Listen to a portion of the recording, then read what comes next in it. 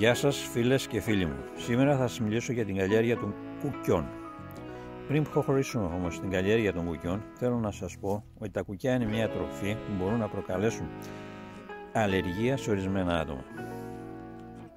Τα κουκιά είναι φυτά που καλλιεργούνται από την αρχαιότητα είτε για την παραγωγή ξηρών σπόρων είτε για παραγωγή και κατανάλωση των χλωρών λοβών.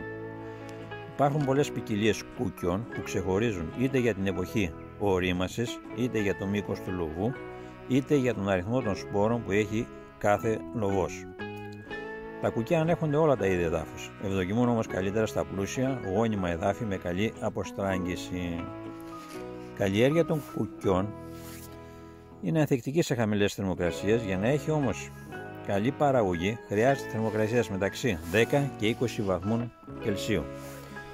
Έτσι η σπορά μας γίνεται στα ζεστά μέρη από αρχές Σεπτεμβρίου μέχρι τα τέλη Νοεμβρίου, ενώ στα ψυχρά και τα ορεινά μέρη από αρχές Φεβρουαρίου μέχρι τέλη Μαρτίου.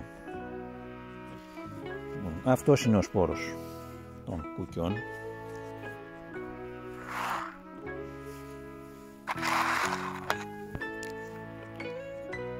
Τα κουκιά έχουν ένα καφέ χρώμα αυτό το ροζ κόκκινο που βλέπουμε είναι από χημικό που έχει για τη συντήρηση του σπόρου. Τώρα, να πούμε πως φυτεύουμε τα κουκιά.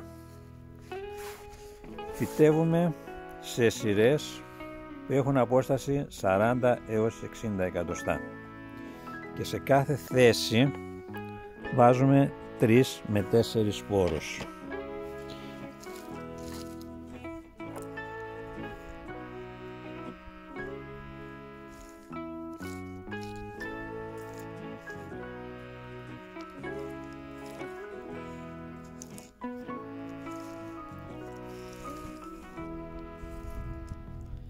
Έτσι σε κάθε θέση βάζουμε 3 με 4 σπόρους. Μία θέση εδώ και μία θέση εδώ.